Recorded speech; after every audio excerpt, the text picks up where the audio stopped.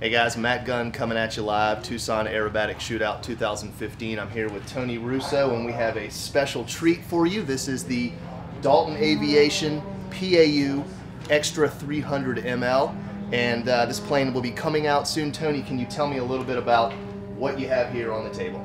Um, this airplane's dimensionally, it's the same airplane that Dalton Aviation's produced for years. Uh, I believe starting back in 2008 when we first came out with it. Um, I made a trip to China a few months back, uh, visited the factory, uh, was comfortable with what I saw.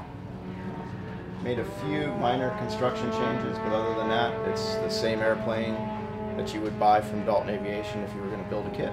What's it designed around? A, a 200cc? Uh, that's the typical DA200 uh, four cylinder. Uh, we will have a motor box set up for either a 150, 170. Um, and then if you want to use the 200, it's a simple glue the firewall in, cut the front off, and you're good to go. Right, and will it be available in multiple schemes? Uh, for right now, this is going to be the first scheme. Uh, once we get through the first production run, we're going to look at doing some other uh, schemes, probably a, a red, white, and black, similar scheme. Okay, and then what else? Just tell me a little bit about some of the specs behind this aircraft. Uh, 123 inch wingspan. Uh, typical setup is uh, two servos on each aileron, one on each elevator, two on the rudder, um, in the tail. So use the push-pull system rather than uh, pull-pull. Um, most guys, like I said, opt for the DA200 four-cylinder. Uh, fits in the cowling nice.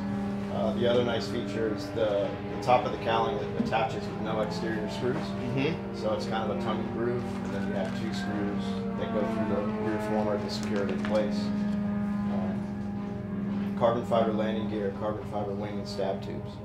And the other unique feature that uh, no other manufacturer is really doing is it's a solid foam core wing and Oh, tail right surface. Uh, most most of what you see out there is a, is a built-up wing. Okay, so what aspect of flying? IMAC 3D, where's this bird going to excel? Uh, this is specifically an IMAC uh, purpose airplane. It will 3D, of course, um, but most guys, when they get into this level, they're, they're looking for something that's strictly an IMAC airplane. Uh, so they do their setup according to what they need for IMAC. Right on. Well, there you have it, guys. The new PAU, Dalton Aviation, Extra 300 ML. This thing should be coming out soon. What's the price point? We're looking at between 2100 and 2400 uh, That'll be an introductory price.